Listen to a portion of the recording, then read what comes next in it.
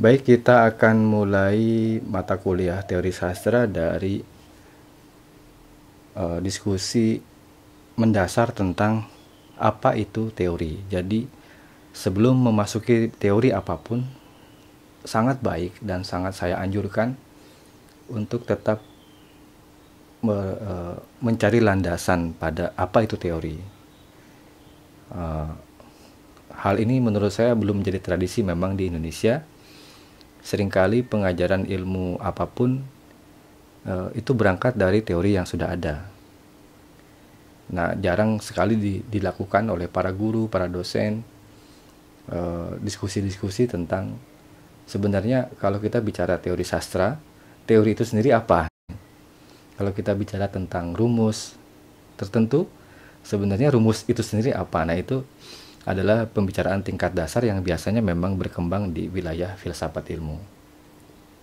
Karena itu tidak salah dan sangat saya anjurkan jika para mahasiswa juga bidang apa saja bisa menekuni filsafat ilmu karena berkahnya sangat banyak untuk memahami ilmu apa pun yang sedang Anda geluti. Kita mulai dari teori tentang teori ya. Pada bagian ini uh, saya sangat berharap kalian dapat memahami apa itu teori dan apa konsekuensinya jika kalian gagal paham ya dalam soal ini. Sedikit tahu tentang teori juga menyebabkan resiko yang eh, katakanlah bisa paradoks terhadap cara memahami teori itu sendiri atau saat menerapkannya dalam praktik penggunaan teori kadang-kadang karena tidak paham dengan makna teori itu sendiri jadinya uh, tidak ada sikap kritis terhadap teori dengan istilah yang akan saya tawarkan yakni suksesor. Maka nanti ada istilah suksesor teori dan ada suksesor praktik. Uh, kamu yang pernah belajar aksioma Peano pada pelajaran bilangan asli ini kan materi dasar di saat eh, SMP atau SMA ya. Ada yang sebut dengan aksioma Peano dalam bilangan asli. Uh, pasti tidak asing dengan istilah suksesor tapi kalau kalian buka KBBI tidak ada kata suksesor. Jadi ini adalah terjemahan langsung saya dari bahasa Inggris successor gitu ya. Biasanya dalam matematika eh, diskusi-diskusi uh, tentang bilangan asli, suksesor itu ditulis dengan lambang S dan ditulis mendahului bilangan asli setelah yang disebutnya. Misalnya, Anda bayangkan ada uh, S dalam kurung B berarti dapat kita baca suksesor setelah B gitu. Dengan catatan B itu adalah bilangan asli. Nah, pada bagian ini kamu akan saya ajak memikirkan teori di satu sisi sebagai suksesor praktik dan kenyataan praktik di sisi lain sebagai suksesor teori. Jadi P untuk praktik dan T untuk teori. Apabila kita pandang rumus pertama, suksesor P, maka teori merupakan suksesor praktik.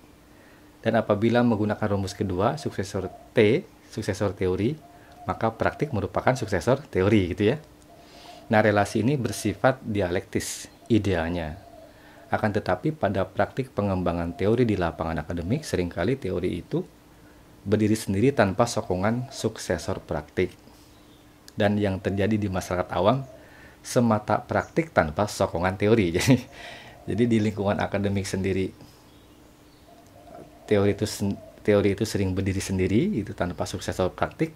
Sedangkan di lapangan masyarakat awam semata praktik tanpa sokongan teori. Nah ini dua-duanya menurut saya punya kelemahan. Posisi-posisi tanpa suksesor itu tidak bagus bagi dirinya masing-masing karena kehilangan dialektika. Nah kita kembali sebentar ke kata teori terlebih dahulu ya. Apa yang kalian pikirkan dari kata teori Ya, kalau kalian memikirkannya, teori itu apa, pastilah kalian akan berteori tentang teori. Saya ulangi lagi. Uh, apa yang kamu pikirkan dari kata teori, pastilah teori tentang teori. Ya, ya enggak? Dan jika kamu mengajak teman-teman di kelasmu di sini untuk memikirkan hal yang sama, maka pasti akan ada beberapa pendapat yang sama atau agak sama dan ada beberapa pendapat yang berbeda tapi tidak agak berbeda ya karena agak berbeda mengandung makna agak sama juga di sini ada paradoks. Nah, masing-masing kelompok itu akan menyatukan diri tentu saja yang sama teorinya akan menjadi satu kenyat satu kekuatan teori. Yang berbeda pun demikian akan menjadi satu kekuatan teori pembeda. Bisa dibayangkan ya. Tidak usah dibuat kelompoknya tetapi kelompok itu akan tercipta sendirinya. Jika ternyata keduanya memiliki kekuatan sebanding atau seimbang, sama kuatnya, maka teori masing-masing akan terus bersaing sehingga memungkinkan untuk memunculkan teori baru tentang teori. kan kita sedang berteori tentang teori, maka kalau posisinya seimbang dan terus bersaing ya terus saja saling memunculkan uh, definisi-definisi uh, baru atau teori-teori baru tentang teori.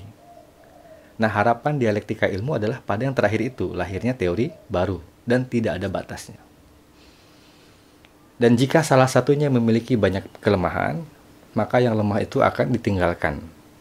Itu sudah konsekuensi alamiah dan yang kuat akan menjadi superior. Ini seperti hukum hukum alam. Nah, dapat juga terjadi pemisahan teori, tidak lagi bersaing. Yang satu mengurusi bidang tertentu dan satu lagi mengurusi bidang tertentu lainnya sehingga masing-masing dapat dikatakan superior di wilayah di wilayahnya masing-masing pula. Persaingan teori itu hanya mungkin jika objek materialnya sama dan agak sulit membayangkan kita akan berpisah memikirkan apa itu teori sedangkan objek materialnya teori itu sendiri. Jadi uh, di kelas kita ini kita tidak mungkin saling berpisah. Yang ada adalah saling berbeda kalau sama-sama kuat untuk saling berdialektika karena objek materialnya sama teori itu. Maka yang mungkin terjadi adalah hal yang pertama ya, ada yang menjadi superior dan ada yang ditinggalkan. Atau dua-duanya superior dan dua-duanya terus membangun dialektika. Tentu yang paling bagus adalah yang membangun dialektika itu. Teori itu adalah sebuah cara penarikan bentuk umum dari sebaran praktik atau kasus yang dapat ditariknya dalam kesatuan umum tersebut. Dalam bahasa matematika bisa juga disebut dengan istilah rumus yang dihasilkan dari proses perumusan. Sifatnya yang umum tersebut selalu tertantang untuk direnovasi jika menghadapi praktik atau kasus yang berbeda. Kamu mungkin dapat bayangkan, jika matematika tidak menemukan teori bilangan berpangkat, katakanlah A pangkat M kali A pangkat N sama dengan A pangkat M plus N gitu ya, maka yang ada adalah bermacam praktik berulang dalam pola perkalian bilangan berpangkat tersebut. Kasus pembuktian perkalian yang satu menjadi ukuran bagi pemecahan masalah perkalian serupa. Ini kan akan meribetkan pengembangan matematika itu sendiri. Ya, khususnya dalam praktik pemecahan masalah. Penarikan umum tersebut dapat juga kita katakan sebagai upaya mengabstraksi kenyataan yang bertemu pola sehingga mengandung penalaran dalam corak induktif. Ya, saya yakin sejak SMA sudah belajar apa itu penalaran induktif. Nah, teori-teori yang mengalami posisi superior biasanya siap pakai terhadap kenyataan yang relevan.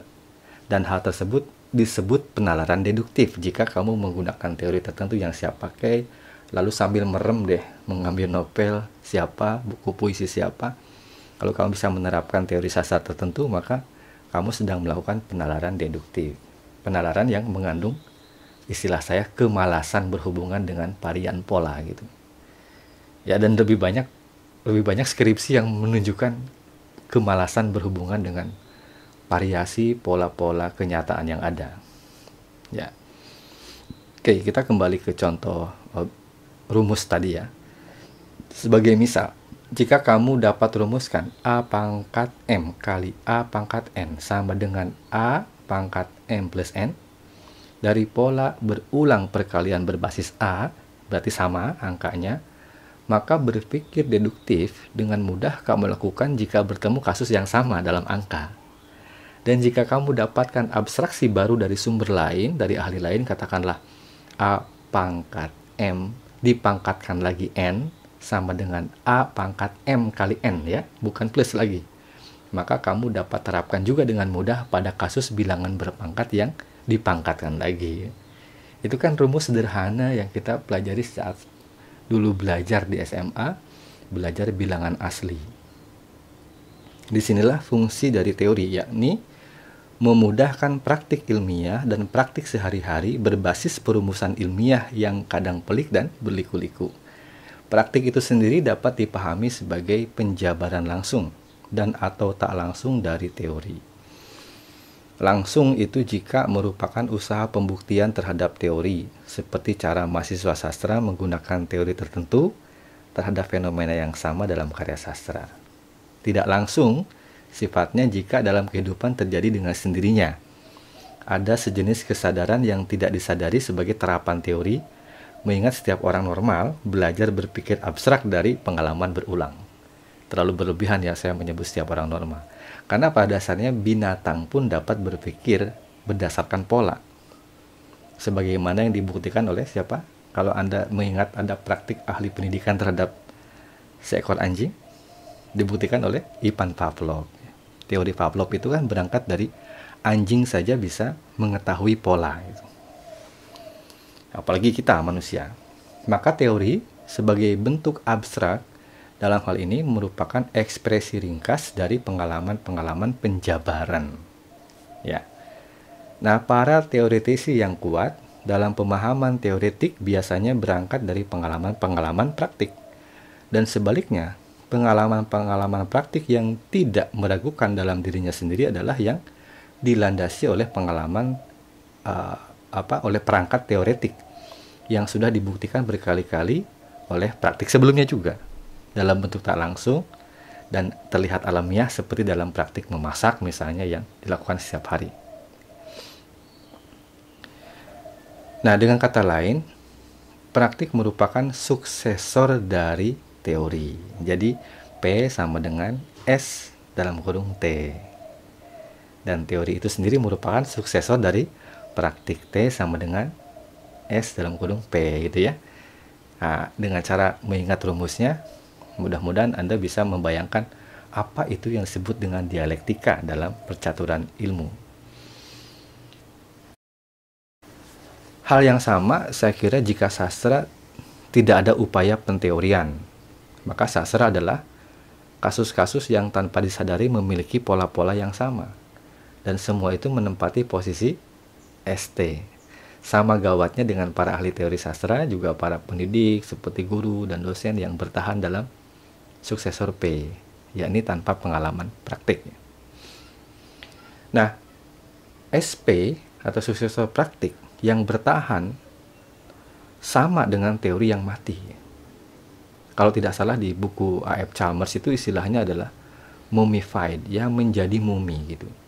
Yakni teori yang mengalami pengawetan dan paradoksnya digunakan untuk menghidupkan kenyataan yang sudah hidup dalam dirinya sendiri. Untuk apa yang sudah hidup dihidupkan?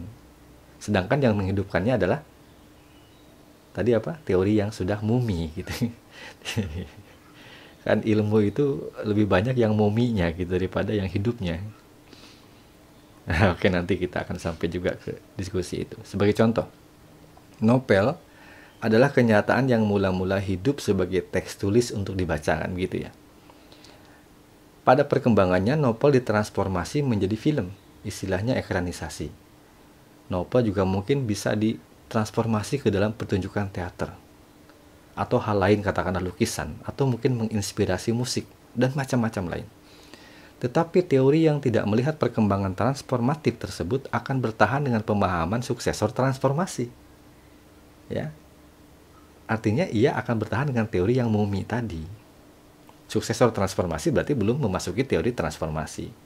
Teori tersebut tidak hanya merugikan kenyataan praktik. Ini baru istilah menara gading itu kan muncul dari para praktisi yang mencemooh suara jadul perguruan tinggi. Bukan jadul ya, kalau jadul zaman dulu kalau zaman dulu berarti zadul. Sekali lagi ya, istilah menara gading itu muncul dari para praktisi yang mencemooh suara zadul perguruan tinggi. Para praktisi kan sering kali merasa heran dengan para akademisi. Kenapa mereka tetap membicarakan itu-itu saja kata para praktisi yang mereka ada di lapangan. Sementara para akademisi juga tidak pernah tahu praktik-praktik lapangan. Ya itulah kondisi-kondisi yang saya kira perlu di, dibuka sekatnya jangan sampai ada lagi menara gading juga merugikan kelangsungan dirinya sendiri sebagai teori ya. Jadi tidak hanya merugikan praktik tapi juga merugikan teori itu sendiri. Teori-teori yang mengalami kematian biasanya hidup di alam arwahnya sendiri dan jago kandang alias hanya berlaku di menara kegadingannya semata. Kemewahan yang dicemooh bukan dari kemewahan, jadi jangan sampai kita merasa bangga disebut menara gading. Kita sedang dicemooh. Kamu sekalian mesti jadi bagian dari menara dialektis yang bersuara lain. Ya, eh sorry, menara dialektis yang sanggup keluar dari uh, tradisi menara gadingnya itu, sehingga dapat bergabung bersama suara lain. Dalam hal ini masyarakat, praktisi, kritikus, jurnalis, bahkan juga para awam. Dan saling bersinergi serta saling belajar. Gitu ya. Kalau kita merasa superior karena akademisi itu merugikan kita sendiri. Kita tidak bisa mencerap bagaimana pemahaman pihak lain nah di antara kamu mungkin ada yang pernah memandang teori bumi datar itu lebih masuk akal daripada teori bumi bulat oke ini kan isu baru beberapa tahun yang lalu ya Eh, kalau masih ada di kelas ini yang belum tahu teori bumi datar dan versus teori bumi bulat bisa dilacak di internet ya. Bahkan penjelasan-penjelasan animasinya di YouTube atau di mana itu sudah sangat banyak. Nah, saya lagi, di antara kamu mungkin ada yang pernah memandang teori bumi datar itu lebih masuk akal daripada teori bumi bulat. Itu artinya teori adalah pandangan-pandangan yang dirasa lebih masuk akal. Jika suatu hari pandangan-pandangan tersebut tidak lagi benar-benar masuk akal, maka kamu akan kembali pada teori bumi bulat atau pada teori baru lainnya. Katakanlah karena ada teori baru namanya teori bumi lonjong atau mungkin teori baru lain lagi, teori bumi kotak. Atau dalam bahasa Gen Z mungkin saja kelak ada teori bumi random. Nah, pokoknya gitu ya. Uh, pada kasus terakhir ini dengan contoh-contoh perdebatan tentang bumi ini bulat atau bumi ini datar, kita dapat melihat bahwa teori itu identik dengan masuk akal atau tidak masuk akal, diterima akal atau tidak diterima akal. Dan apakah dengan demikian teori terbatas dengan hal-hal yang harus diterima akal? Saya, saya ulangi lagi pertanyaannya. Apakah dengan demikian teori itu terbatas dengan hal-hal yang harus diterima akal? Atau atau tidak terbatas dengan akal Ya ini nanti diskusinya jadi panjang. Maksudnya kita belum beres membicarakan teori, lalu kita bisa terjebak mendiskusikan sebenarnya akal itu apa ya. Oke ya. ya oke nanti mungkin kita bisa diskusi secara khusus tentang akal. Mungkin persoalan utama memahami teori tentang teori adalah memang akal tersebut. Ya harus diakui. Ini yang jadi masalah kemudian adalah kita tidak dapat menentukan standar bagi akal. Kita tidak dapat mengatakan misalnya Einstein itu patokan. Karena dengan mengatakan demikian kita sedang menolak Newton. Sadar atau tidak. Dan berlaku juga sebaliknya. Jika kita mundur lagi ke belakang mengatakan Newton itu patokan maka kita sedang menolak Einstein mungkin kita tidak cukup dengan akal ya. Mengingat standarnya memang tidak ada. Akal siapa yang lebih berakal? Ayo kita bayangkan. Akal siapa yang lebih berakal? Tidak ada kan? Kita perlu juga menambahkan akhirnya unsur keberpihakan sehingga ilmu yang memayungi teori-teori di dalamnya setingkat dengan iman atau ideologi. Kita tidak pernah membela akal tanpa menyertakan mazhab yang kita yang kita ada di, di dalamnya. Dan biasanya itu terjadi baik disadari maupun tidak disadari. Kadang-kadang kita juga membela adat, budaya, agama, kesukuan juga negara kita. Jika ada teori sesuai dengan ajaran agama kita, kita bisa sekonyong-konyong membenarkan teori tersebut. Nah, berarti ini persoalan akal atau persoalan keyakinan atau keberpihakan tadi. Jangan-jangan bukan soal kebenaran teori, tetapi sebenarnya kita berpihak pada kesesuaian teori tersebut dengan agama yang kita anut. Dengan kata lain, akal saja tidak cukup, tetapi perlu standar lain yang saya sebut keberpihakan tadi. Bergantinya cara pandang kamu dari teori bumi bulat misalnya ke bumi ke teori bumi datar atau sebaliknya atau contoh lain berpindahnya iman seseorang dari Tuhan satu ke Tuhan lainnya atau misalnya tindakan kamu untuk meninggalkan pacar dan mencari pengganti yang lebih baik apalagi perubahan pola makan dan tidur kamu. Dulu makannya berlemak-lemak sekarang buah-buahan kalau pagi-pagi. Ya, apalah begitu banyak perubahan. Adalah beberapa contoh dari adanya perubahan teori yang sebenarnya didasarkan pada beberapa standar. Tidak cukup dengan akal. Boleh jadi di dalamnya ada gaya hidup. Kamu sekarang senang makan buah bukan karena kamu punya akal yang lebih baik, tetapi kamu sedang menyetujui salah satu artis yang kamu suka. Di situlah sebenarnya keberpihakan.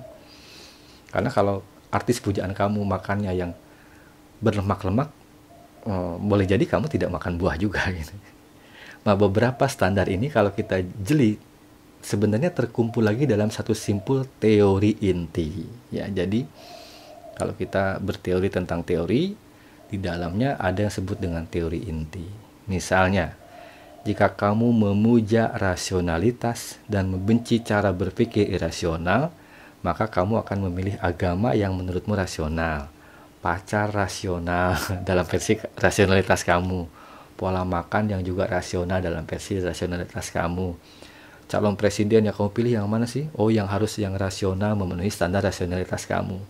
Pilihan program studi juga sama memenuhi rasionalitas kamu. Kamu sekarang kuliahnya di bahasa dan sastra.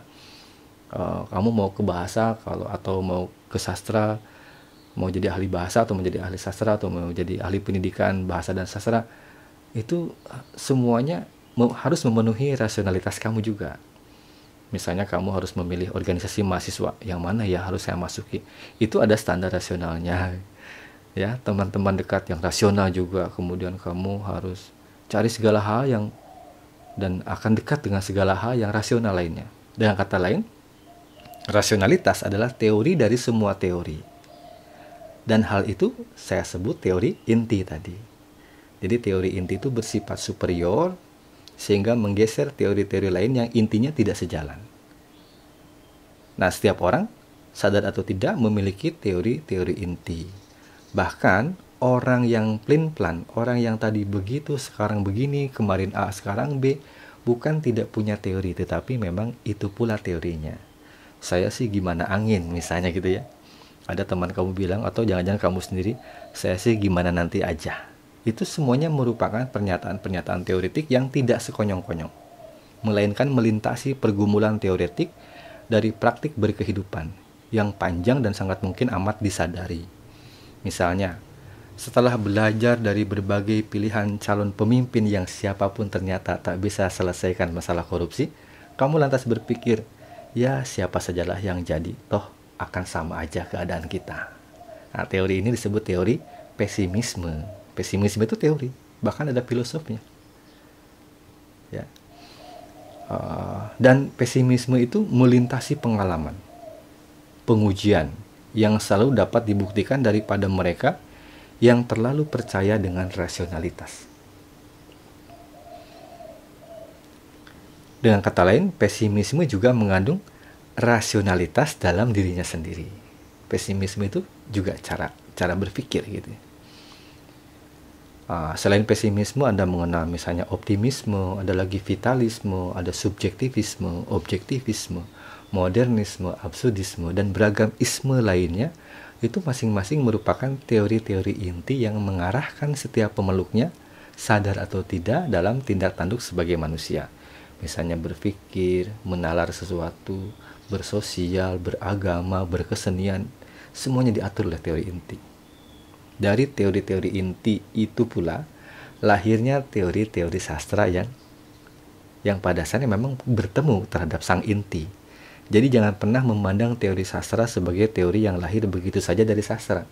Teori tidak pernah dideterminasi oleh satu fenomena, melainkan beragam fenomena yang diyakini para teoretisinya.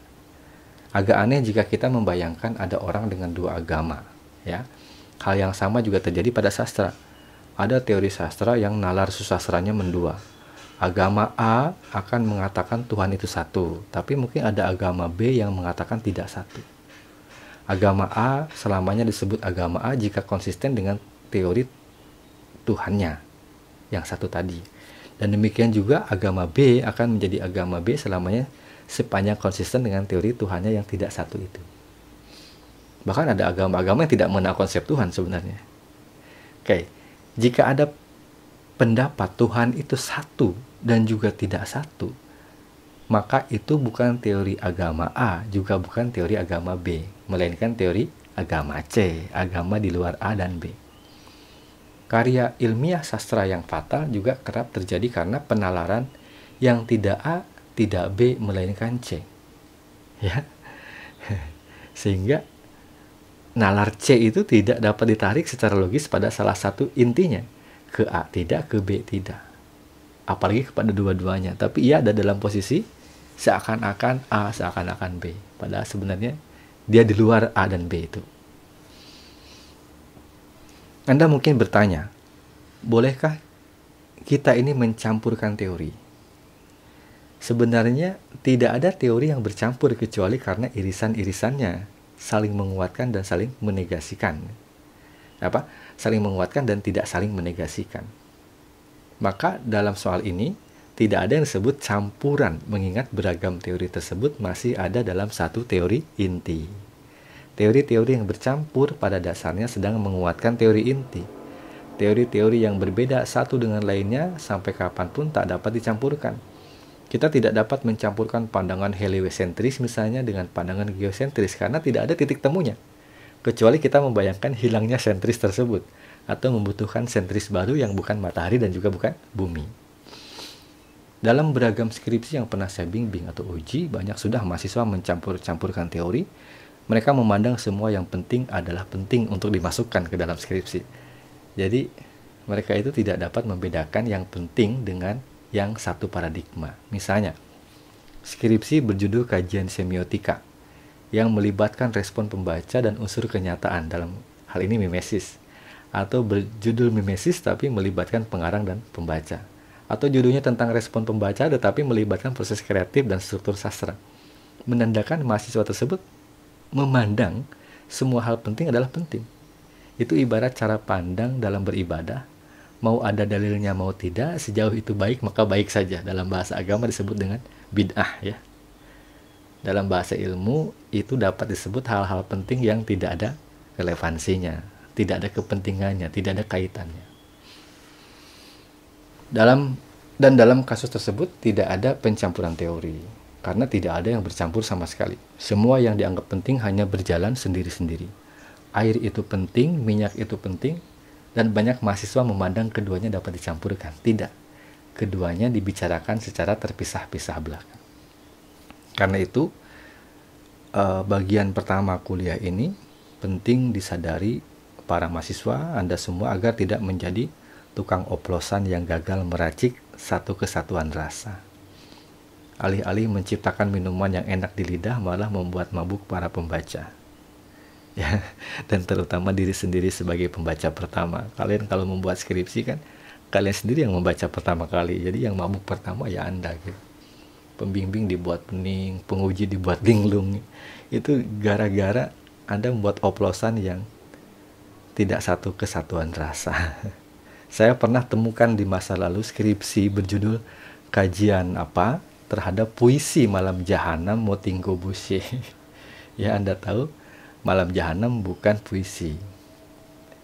Dan teorinya tentu saja teori puisi bab duanya dan berjalan sendiri seperti air di atas minyak ya di jalur teori puisi. Sedangkan yang ia hadapi adalah naskah drama yang seharusnya didekati dengan perangkat teori drama. Jika belum paham atau masih remang-remang, uh, mungkin bisa memutar lagi audio ini atau bisa membaca sumber lain ya. Lebih baik sulit memahami tapi mau belajar lagi daripada langsung mengerti dan setelah itu lupa dan tidak dapat mengamalkannya. Jangan sampai kamu seperti yang sudah-sudah ya mereka yang masih yang masih membenar-benarkan kebiasaan. Skripsi terdahulu juga begitu maka tinggal begitu saja. Jangan begitu berpikirnya. Mulai sekarang, jangan benarkan kebiasaan, tapi biasakan benar dan jadi perintis perubahan sehingga menjadi contoh yang baik buat adik-adikmu kelak. Ya, peganglah prinsipnya perubahan hanya mungkin dimulai dari diri kita masing-masing. Saya kira itu berikutnya kita buka termin diskusi ya, tanya jawab. Mungkin tidak harus saya yang jawab, uh, bisa dijawab oleh kalian masing-masing. Bahkan yang bertanya pun setelah bertanya mungkin bisa menjawabnya langsung juga, tidak apa-apa. Silakan.